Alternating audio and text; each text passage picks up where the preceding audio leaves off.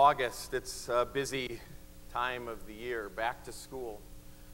Back to school shopping, school supply list. Hopefully, you were able to knock out everything on your school supply list in one shot at one store.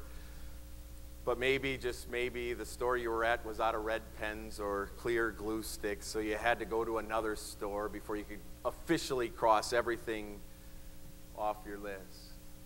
But that kind of back to school shopping doesn't include an outfit for the first day of school or all the necessities, all the other clothes that are going to go in that top dresser drawer. And it doesn't talk about, it doesn't cover uh, replacing shoes or sandals or soccer cleats to replace the ones that are all worn out or, or don't fit anymore.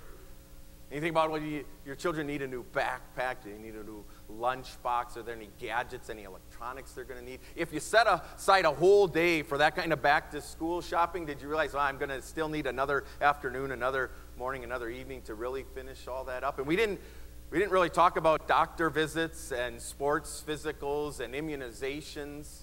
Is there paperwork you still have to do, forms to fill out online, or paper forms to, to fill in? Maybe you still got to deal with TADS online, get that all squared around before school starts, at least here at Gethsemane on, on Wednesday.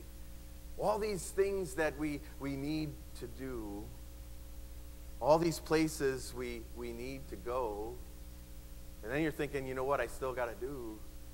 Still got to write my child's name and all those wonderful school supplies I just purchased the other other day. Or, or maybe you're thinking about, oh, we got to pick up the, the books off the desks today so we can take them home and, and make book covers out of those brown paper grocery bags. And hopefully we get that right the, the first time. We remember how that works from previous years so we don't have to fold it like eight times or burn through three bags just before we get the first one done. August, it's a busy time. So many things to do, so many places to go, so many things on, on the mind, but doable manageable. We'll get them all done in a week. We'll look back and say, oh, that wasn't that, that bad. But what about finding a job? Maybe you're out of work. Finding a job? Time consuming, isn't it? a resume, searching, posting, interviews, callbacks, some anticipation, some, some excitement, only to get some letdown, some disappointment. Uh, you're not the person we have in mind overqualified. And you begin to question the whole situation, why you're out of work in the first place, and then you begin to, to doubt yourself. Maybe you're, maybe you're searching for that significant other. Maybe you're looking for a special friend, a future spouse, and you're putting yourself out there. You're going on, on dates, a friend of a friend of a friend, a, a blind date, or maybe it's a, a group date and there's small talk, but always the odd person out. Or maybe there's a second date and again, the excitement, the anticipation, this is going really well. I kind of like this person. But then the next day, there's no callback, there's, there's no text. And you're like, oh, I got to do this all over again. Maybe you're planning a wedding. Got to pick a date, got to pick a venue, you got to pick the people that are going to be involved in the wedding, the people who are going to stand up, the people who are going to attend. You got to pick food, you got to pick out a cake, you got to pick out a dress set a budget, and hopefully you don't have any arguments about the budget for the wedding. Maybe you're setting out to sell a home or, or buy a home. So many things to do to clean up the house, repair the house, fix it out, set it up, stage it, get it ready for showings and viewings coming and going. You're out looking at, at other homes. You're thinking about where do we want to live, what part of town, downtown, in town, out of town, something bigger, something smaller, something newer, something older think you got one, and you put in an offer, and you're outbid, or you're underbid, or you don't get it, or it falls through, and you got to do it all over, and you run out of time. Maybe it's work. Maybe it's a big project at work. There's, there's deadlines, there's stress, there's, there's hiccups, there's difficult people to work with. Some people aren't pulling their own weight, and you got to pick up the slack, or you end up doing it all just because you want it done a certain way, or you don't think anyone else can help you the way you want to be helped, and so you're going in early, and you're staying late, and can't leave work at work. It's constantly on your mind. You stress and worry. You can get it all done, get it all done on time. Maybe it's just the house. Maybe it's just home. Maybe it's just the day to day, the weekly, you know, the shopping and the cooking and the laundry and, and the cleaning and the yard work and the repairs and, and the bills and getting the kids from here to there to everywhere. They got practices, rehearsals, games. Maybe they have jobs they got to get to. What do all those things have in common? Finding a job, finding a, a spouse, planning a wedding, buying a, a new home, getting things done at work, getting things done at home. What do they all have in common? They all consume us. Don't they? They, they consume our time, they consume our energy, they consume our focus, they consume our thoughts, they consume our prayers. We, we need a job. We want a, a future spouse. We want everything to go smoothly on our wedding day. We want the perfect house in the perfect place at the perfect price. We want the job to go well. We want to be recognized. We maybe even want the promotion. We want this to be our career. We want everything to go smoothly at home without losing our sanity. And so we pray. And we pray some more. And we pray again. But what else do all of those things have in common? A, a new job, a, a spouse, uh, a wedding, home, a career, the day to day? What do they all have in common? Or whatever, whatever's consuming you. Maybe it's none of those things. What's consuming your time, your energy, your focus, even your, your prayer life? What do they all have in common? There was little talk about Jesus in any of those things. There was little talk about spiritual things, things like forgiveness and salvation and heaven. There's little talk about the gospel in any of those things. Little talk about the blessings of the Lord's Supper, the, the importance of our baptism, the joy of worship, the need for Bible study. There was little talk about our identity as God's children here on earth. Little talk about our need to be a neighbor, as we heard two weeks ago, to be a neighbor to those in need around us. Little talk about our role in the Great Commission to make disciples of all nations. Little talk about being lights in this dark world or being the, the salt of the earth. Well, there was prayer, a lot of prayer. And we prayed some more about all those things. And there was joy and disappointment, there was hope and despair. little talk about Jesus and a lot of talk about earthly things, earthbound things. Things that in the end, if we're being honest, will all perish, spoil, and fade. Why do you think Jesus' disciples asked him to teach them how to pray? Do you really think it was because they didn't know how to pray? Do, do you think that they were, they were thinking to themselves, Jesus is holding out on us here? Jesus is holding back here. We're ready for the next chapter, the next unit in our instruction. We haven't even gotten, we've been with them how many years? We haven't even gotten to prayer yet. Come on, Jesus. Show us the goods.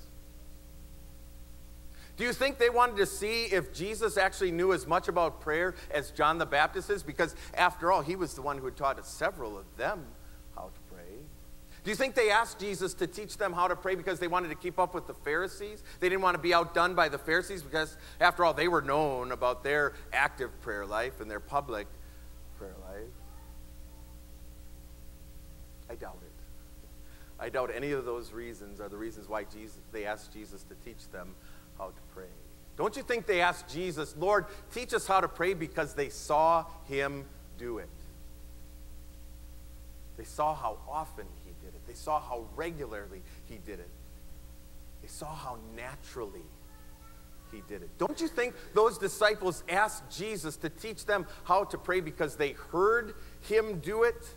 And when they heard him do it, they realized his prayers are nothing like our prayers. Maybe their prayers are a lot like our prayers, earthbound with earthly goals. Regardless of why, regardless of why the disciples asked Jesus to teach them how to pray, Jesus knew what he needed to teach them about prayer. And he did that by teaching them the Lord's Prayer. But you see, the Lord's Prayer is more than just a prayer. The Lord's Prayer is a mindset. The Lord's Prayer is a way of life. The Lord's Prayer reminds us, it encourages us to set our minds on things above and not on earthly things. The Lord's Prayer reminds us, it encourages us to keep our eyes fixed on Jesus, the author and the perfecter of our faith. The Lord's Prayer reminds us, it encourages us to view life from God's perspective rather than our own, and to seek what He desires rather than what we want. How? How does the Lord's Prayer do all of that? Well, there are seven petitions or requests. Actually, there are seven little prayers that make up the Lord's Prayer. But only one of those petitions deals with things here on earth. The fourth petition, when we ask God to give us this day our daily bread. But even in that petition, there's a whole lot of faith, there's a whole lot of trust. It just says, Take care of me today, Jesus, and tomorrow we'll do it all again. The six other petitions, the three at the beginning, the three at the end, all deal with spiritual things, things above, you might say. Spiritual things like who God is and, and what He does spiritual things like who we are and our relationship with Him and the things that can threaten our relationship with Him. The Lord's Prayer is more than just a prayer, the Lord's Prayer is a mindset. It's, it's a way of life. And so when Jesus taught his disciples this prayer, he wasn't just teaching them the prayer, he was modeling the prayer for them and everything he said, did, and thought. And when Jesus spoke these words to his Father in heaven, he wasn't just speaking the words, he was living those petitions. He was living those words. An example? The night before his death, his death on the cross, Maundy, Thursday. Jesus is with his, his disciples. They're in the upper room. They're out in the garden, and, and somewhere in between, Jesus prays. It's called his high priestly prayer. And he prays for himself. He really did. Jesus prayed for himself, but he didn't pray selfishly. His prayer went something like this He said, Father, I pray that you are honored. I pray that you are glorified. I pray that you are praised as I faithfully and obediently carry out your plan of salvation and walk the way to the cross. And then Jesus, in this high priestly prayer, he prayed for his disciples. But he didn't, he didn't pray that they would find a different job outside of ministry after he ascended back into heaven. And he didn't pray that they'd be successful, super successful fishermen. And he didn't pray that they'd have a beautiful home overlooking the gorgeous Sea of Galilee. No, he prayed that they would grow in their faith. And he prayed that they would flee temptation. And he prayed that they would spread his word. And then Jesus, in this same prayer, the night before his death, the night before he would die for the whole world, thinks of you and he thinks of me and he prays for all of us. But his prayer wasn't that we'd find this special someone in our lives to make us happy. And he didn't pray that we'd be able to cross off everything on our to do list at home and at work. This is what Jesus prayed for you, what he prayed for me. He prayed that we'd be brought to faith in him. And he prayed that we'd remain in faith in him. And he prayed prayed that we would live with him forever in heaven.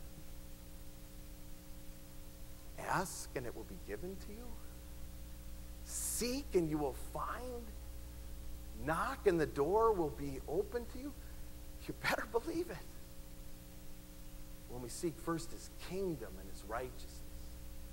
When we set our minds on things above and not on earthly things, when we view life from God's perspective and not our own, when we seek what He desires and not what we want, when we remember that we are bright lights in this very dark world, when we embrace the fact that we are the salt of the earth, seasoning hate with love and guilt with forgiveness and despair with hope,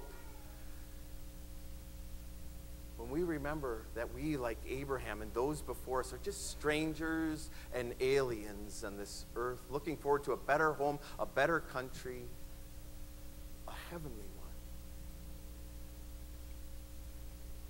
Do you think Jesus had any doubt that his Father in heaven would forgive those who didn't know what they were doing?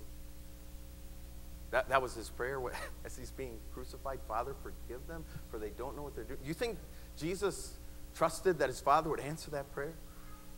Do you think Jesus trusted that his Father wouldn't abandon him to the grave or allow his body to see decay as he prayed, as he's about to die, Father, into your hands I commit my spirit? Of course he didn't doubt. Of course he believed because he's viewing things from God's perspective and he was seeking what God desires. The Lord's Prayer was his mindset, the Lord's Prayer was his way of life. And that's true for us too. By faith, through faith in him, by grace, credited to us freely through the work of the Spirit. That fact that we are holy and righteous and pure and sinless and innocent forgiven in Christ, that fact can't help but change not only our prayer life, but our way of life. Not only what we ask God for, but why we ask Him for it. As we all, with His help, set our minds on things above. Amen. Please stand.